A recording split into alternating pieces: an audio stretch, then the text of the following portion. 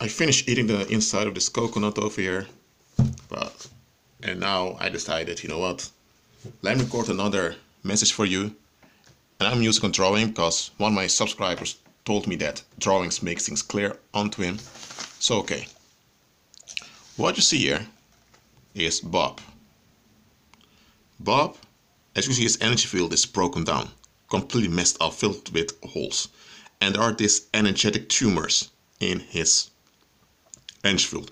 Those are heavy energy that, that begin to grow and grow like tumors, like cancer, and they hang in his energy field. These are just clots of heavy waste energy that are hanging in his energy field.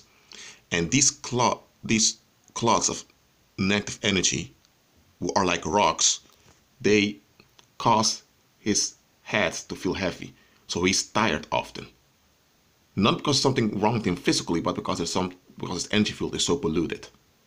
Okay? Now, Bob goes to a voodoo priest who's a pagan. And in the ceremony here, you have the public. He's called to the front.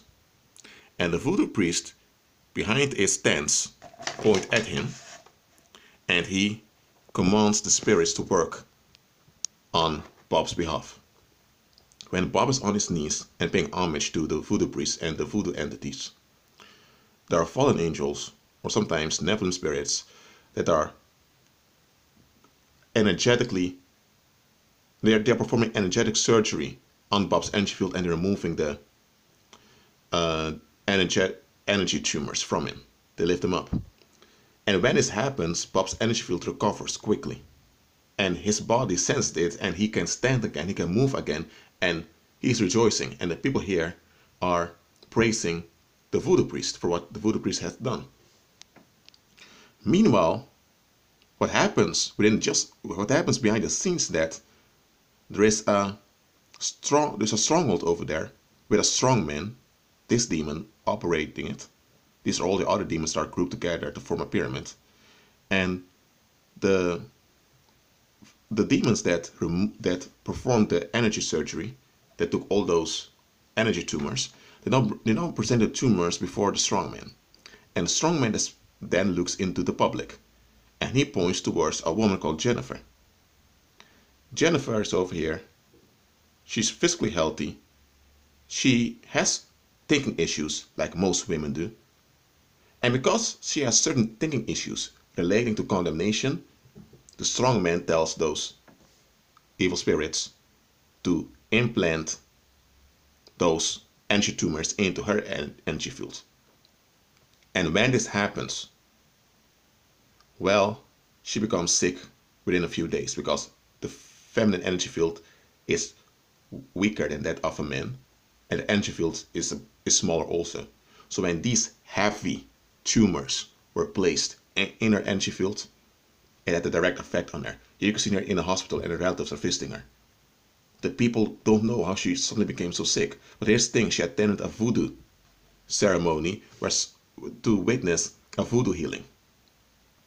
The fact that she decided to be present there made her vulnerable for such an attack. Was this an attack? He has been relieved, while she has been intoxicated. That's how it goes in the paranormal. The darkness or the evil is not dissolved, it's not dealt with, it's just replaced. But hold on a minute, doesn't this sound familiar? It should, because this was happening in pagan Christianity. In those churches where they have those healing services, deliverance uh, services, and all of it, this is what's going on over there. There are some congregations out there who don't know any better that they're using the Babylon church as a place to come together. There are some congregations out there where real miracles happen. But when real miracles happen, these blocks are dissolved by the fire that comes of the, that comes from the prayers of the people praying for the individual. But in pagan Christianity, things are only replaced. So listen to me carefully. It's very dangerous to attend those healing services of pagan Christianity because there is no real healing happening there. This guy has been relieved, but he has not been delivered. He has been relieved, and this woman has been intoxicated, and now she is suffering, and her relatives are also in pain. And who benefits of the negative emissions that comes from their suffering? Evil spirits do. It's trading a soul for a soul. That's what the that's what Babylon church are doing. This is what the harlot system does. That's how Babylon operates. A soul for a soul. That's how it goes. So it's dangerous to even attend those so-called healing services. Pray to have discernment. That's it for now. Agree with Christ and be at peace.